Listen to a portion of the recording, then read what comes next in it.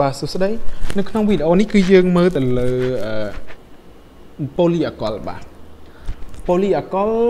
ឬក៏គេហៅថា polyol បាទគឺជាសមាធាតុសរីរាង្គដែល molecule របស់វាមានបង្កុំ hydroxy ចាប់ពី2ឬក៏ច្រើនបាទគឺមានន័យថា hydroxy នឹងភ្ជាប់ទៅនឹងកាបូន2ឬក៏ច្រើនបាទភ្ជាប់ទៅនឹងអាតូមកាបូនផ្សេងផ្សេងពីគ្នាបាទ ឧទាហរណ៍ដូចជាអេតាន12 diol បាទឬក៏គេហៅថា glycol បាទជា molecule glycol គឺមានថា OH នឹងភ្ជាប់នឹងកាបូនទី1ផងហើយក៏មាន OH មួយភ្ជាប់នឹងកាបូនទី2មួយទៀតបាទអឺឬក៏ propan 123 triol ឬក៏ហៅ glycerol បាទ glycerol អឺទី2យើងមើលអេតាន 12 diol ឬក៏ glycol ហ្នឹងគេថាទង្វើ glycol គឺគេធ្វើអុកស៊ីតកម្មក្នុងខ្យល់នៃ ethylene ចំពោះមុខកាតាលីករអឺអានសេប្រាក់បាទហើយនឹងប្រាក់អូស៊ីតនៅក្នុងសីតុណ្ហភាពខ្ពស់យើងទទួលបាន ethylene បាទយើងទទួលបាន glycol បាទឧទាហរណ៍យើងមាន ethylene glycol អសំទោស ethylene បាទយើងធ្វើប្រតិកម្មអូស៊ីតកម្មទៅយើងទទួលបាន epoxy បាទ អេប៉ូស៊ីនឹងធ្វើប្រតិកម្មជាមួយនឹងទឹកបន្តទៅបានទៅកើតជា glycol បាទអញ្ចឹងយើងសរសេរសមីការសរុបមកយើងបាន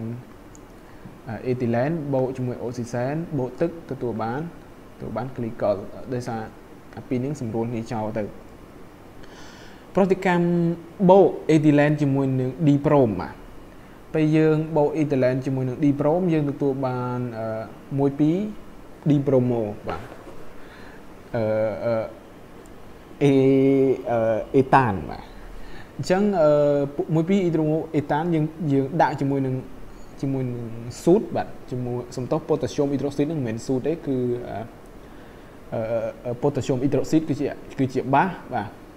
ពេលយើងដាក់ជាមួយនឹងបាស2ម៉ូលហ្នឹងទៅយើងទទួលបានអឺក្លីកុលដូចគ្នាហើយនឹងអំបិលប៉ូតាស្យូមប៉ូតាស្យូមប្រូម៉ូបាទប្រូមួ អញ្ចឹងយើងអាចសរសេរសមីការមកបាទយើងបានកន្លែងនេះសេខុសទេបាទគឺ ethylene ទេបាទ ethylene បាទនេះគាត់នេះសម្រួលចោលហើយ ethylene បូកជាមួយនឹង brom បូកជាមួយនឹង bass យើងទទួលបាន glycol បូកជាមួយនឹងអំបិលបាទអានេះគឺទង្វើ glycol បាទចំពោះលក្ខណៈគីមីរបស់វាវិញគឺវាមានប្រតិកម្មជាមួយនឹង លោហៈសូដ្យូមនិងលោហៈប៉ូតាស្យូមបង្កើតបានជាជាសូដ្យូមគ្លីកូឡាតបាទគ្លីកូឡាតសូដ្យូមគ្លីកូឡាតបាទគឺរំដោះអ៊ីដ្រូសែនបាទដូចគ្នានឹងប្រតិកម្មលោហៈរំដោះអ៊ីដ្រូសែនដូចគ្នាបាទហើយបើវាប្រតិកម្មជាមួយនឹងតុងដែងតុងដែងអុកស៊ីតយើងនឹងទទួលបានតុងដែងគ្លីកូឡាតដែលជាវងជា molecule វងបាទ គឺតុងដែងគ្លីកូឡាតនេះបូកជាមួយនឹង molecule ទឹកបាទប្រតិកម្មនេះគឺជាប្រតិកម្មសម្រាប់អត្តសញ្ញាណរវាង mono អាកុលជាមួយនឹង poly អាកុលបាទយើងចង់ដឹងថាអាកុលនឹងជាអាកុល poly ឬក៏អាកុល mono បាទគឺមានន័យថាវានឹងបាត់បង់កន្លែងនេះគឺអានេះ low hydroxyl មួយហើយនេះ low hydrogen មួយទទួលបានជា2 molecule ទឹកបាទ ម្យ៉ាងវិញទៀតប្រតិកម្មនេះគឺបញ្ជាក់ថាបណ្ដាអាតូមអ៊ីដ្រូសែននៅក្នុងបង្កុំនីតិ OH នេះគឺរបស់ polyalcohol គឺមានលក្ខណៈសកម្មបាទគឺសកម្មជាងអាតូមអ៊ីដ្រូសែនអាតូមអ៊ីដ្រូសែននេះនៅក្នុង monoalcohol បាទគឺមានលក្ខណៈសកម្មជាងបើសិនជា monoalcohol វាអត់មានប្រតិកម្មទេបាទបាតុភូតនេះគឺបណ្ដាលមកពីអេតពលគេថាអេតពលទាំង3នៃបង្កុំនីតិ OH បាទ អឺយើងមើលអូស៊ីអូស៊ីតកម្មនៃ glycol នៃ solution អាអ៊ីយ៉ុងឌីក្រូម៉ាតនៅក្នុងមជ្ឈដ្ឋានអាស៊ីតហ្នឹងគឺយើងមានយើងមាន diol បាទ glycol ហើយយើងអាចសរសេរបានវាបានវាអាចទៅជា aldehyde អាកុលអាចធ្វើអូស៊ីតកម្មទៅជា aldehyde ហើយ អ៊ីយ៉ុងឌីក្រូម៉ាតហ្នឹងនឹងធ្វើប្រតិកម្មរេដកម្មទៅជាក្រោម3បូកនឹងទឹកបាទដូច្នេះយើងទទួលបាននៅពេលដែលយើងដាក់ diol នឹងជាមួយនឹងពពួរ dichromat យើងនឹងទទួលបាន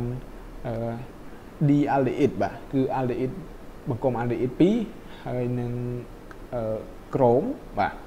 អានេះគឺលក្ខណៈប្រតិកម្មអូស៊ីតកម្មរបស់ polyalcohol បាទបើយើងមើល glycerol ឬក៏ glycerin ពពួក glycerol គឺ triol មានន័យថាអាកុល3បង្កប់ទីអាកុល3ភ្ជាប់ទៅនឹងកាបូន3នេះបាទគឺយើងមើល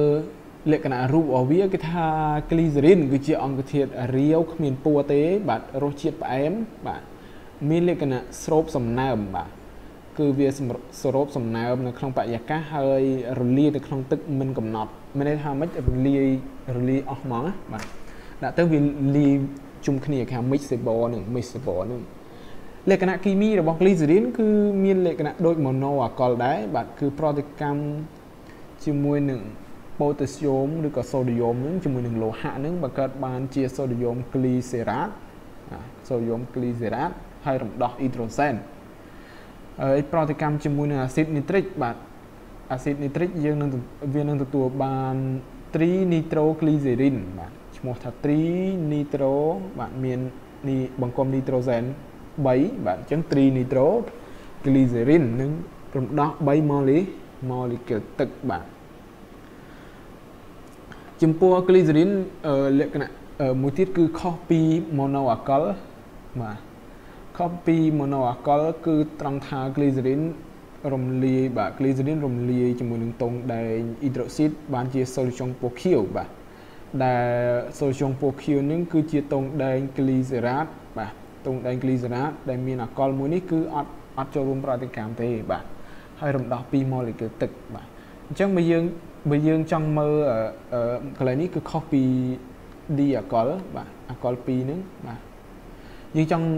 រកថា glycerin ជាមួយនឹងអឺ ethylene glycol ពួក ethylene glycol វាមានកាបូនតែ2ឯងយើងរកបានដោយសារតែ glycerin នេះពេលប្រតិកម្មជាមួយនឹងតុងដែង hydroxide ហ្នឹងគឺទទួលបានទទួលបាន